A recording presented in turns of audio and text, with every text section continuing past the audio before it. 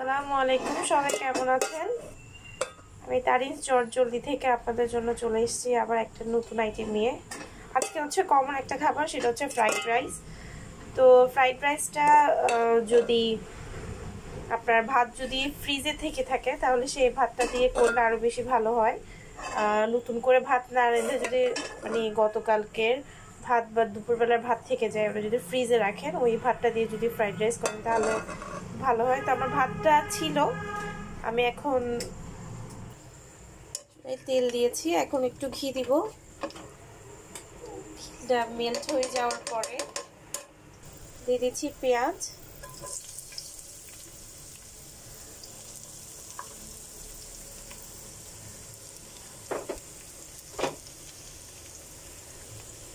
আর গাজর।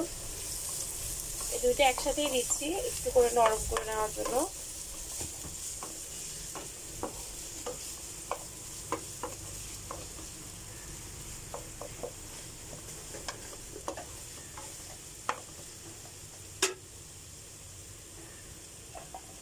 দিয়ে দিচ্ছি লবণ।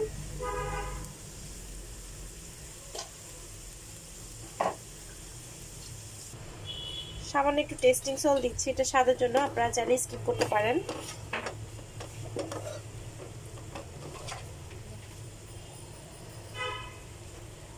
একটু দিয়ে দিচ্ছি আদা কুচি এবং রসুন কুচি।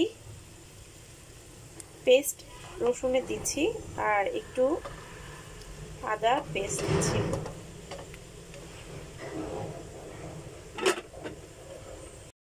দিয়ে দিচ্ছি কাঁচামরিচ। একটু সতে করে নিচ্ছি আমি।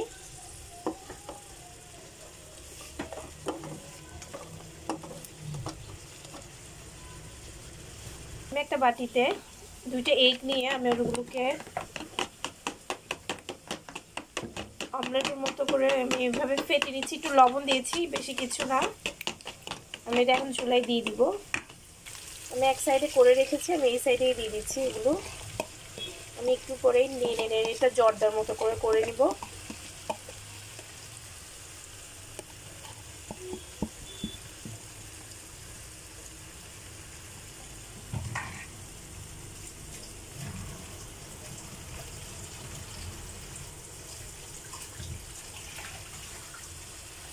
উপরে একটু সামান্য গোলমরিচ গুঁড়া দিচ্ছি, আর আমি একটু ডিমের উপরে দিয়ে দিব।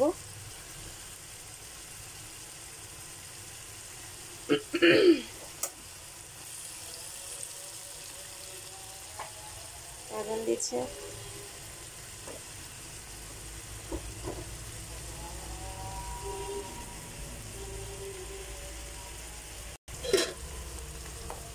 আমার ডিমটা মোটামুটি হয়ে গেছে, আমি এভাবে এই কাজটা আপনারা একসাথেই করতে পারেন। যদি একটু বড় ফ্রাই প্যান নেন, তাহলে একসাথেই হয়ে যায়।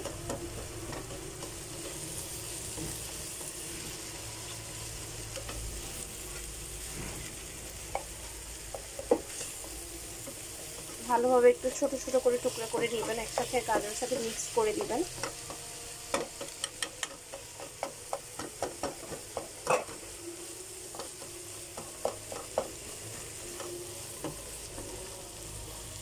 আমার এটা হয়ে গেছে, আমি এখন দিয়ে দিচ্ছি রাইস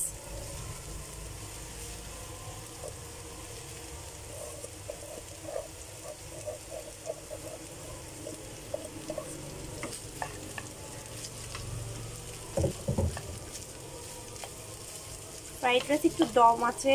এভাবে ভালোভাবে নেড়ে যদি করতে পারেন, তাহলে কিন্তু খুবই সুস্বাদু হয়।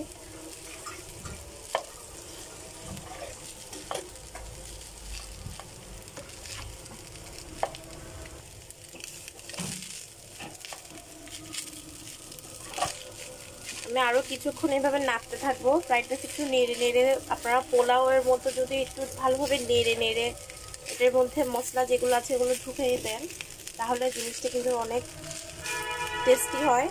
আমার মোটামুটি ফ্রাইড রাইসটা রেডি আমি প্রায় দশ মিনিটের মধ্যে এভাবে নেড়েছি আরও একদম ইজি ওয়েতে ঘরের মধ্যে যদি আগের ভাত থাকে, সেটা দিয়ে আপনারা ইজিলি ফ্রাইড রাইস করে নিতে পারেন। আর যদি রাইস আগে রান্না করে, এরপর কিছুক্ষণ ঠান্ডা করে নিতে হবে, কারণ যেহেতু এটা উপরে আবার সটে করতে হয়, সে কারণে আপনাদের রাইসটাকে অবশ্যই ঠান্ডা করে নিতে হবে না হলে জিনিসটা নরম হয়ে যাবে। তো আমার ফ্রাইড রাইস রেডি আমি আপনাদেরকে প্লেটিং করে দেখাবো একটু পরে। ভিউয়ার্স আমার ফ্রাইড রাইস রেডি হয়ে গেছে। এভাবেই তৈরি করে নেবেন, আমি এটা নামিয়ে ফেলছি এখনই। তো আল্লাহ হাফেজ। পরবর্তীতে আমি এটার প্লেটিং করে দেখাবো। আল্লাহ হাফেজ।